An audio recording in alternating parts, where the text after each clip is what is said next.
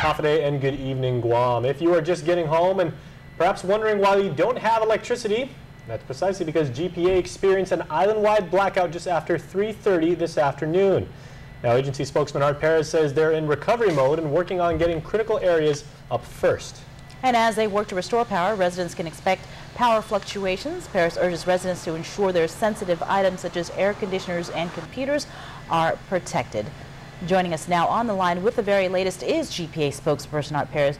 Art, what is the update? The update is that I can report to your viewers and listeners on the on KUAM 610 is that at, at 6 p.m. this evening, the island-wide power system has been about 60% restored. Uh, Bree, that's about uh, well, a large part of our island is, is in restoration, and I expect that uh, later on this evening, I'll make sure I give the, the newsroom an update on how, how how much farther we progress but uh, initial investigation at this point reveals from my uh, operations people that a static line had severed within the core of our switch yard here at Cabras. Now, the switch yard is immediately behind Cabras 1, 2, 3, and 4. It's uh, and what, what had happened was this severed line had, had cross face had fell across several breakers within the switch yard. And part of our protection system for our generators is that if there's a line fault, and that's exactly what this down static line had caused, it caused a line fault within the switch yard uh, these generators would isolate and protect themselves. And that's what happened. Cabras 1, 2, 3, and 4 all isolated as a result of this down severed line. And at that time, it was carrying about 200 megawatts of load just coming out of our base load uh, generation area here at Cabras Island. Uh, we utilize all four base loads as the most efficient way to produce power at any time to serve our island.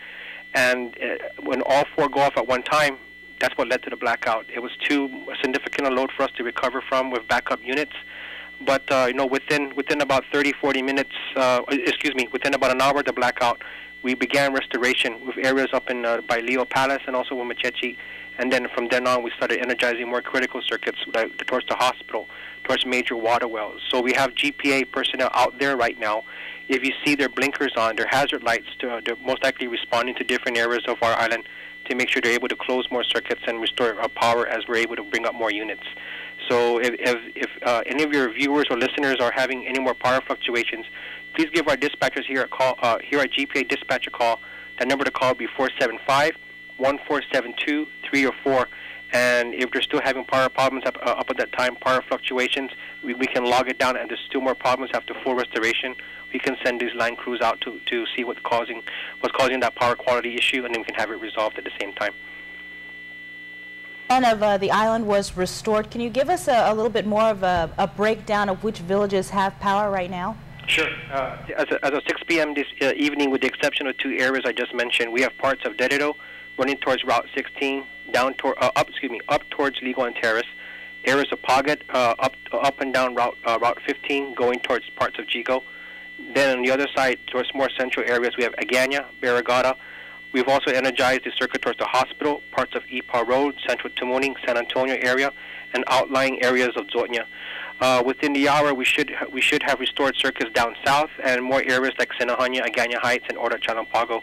And then other parts of Tamuning we should have restored. Uh, again, uh, I will stay tuned to KUAM News just to get the latest up, update. But until then, please protect your your sensitive equipment, be it uh, air conditioners or or uh, electronic and um, and uh, computer equipment and isolate them. If there's uh, any power fluctuations, at least uh, those units can be protected.